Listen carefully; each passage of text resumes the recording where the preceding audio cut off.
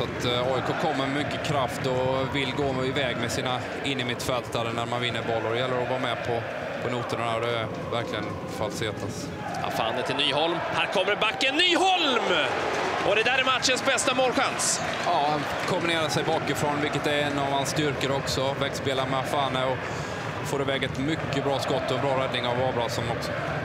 Jesper Nyholm med den här möjligheten. Ett tungt pressat skott som Peter Abrahamsson lyckas tippa till hörna.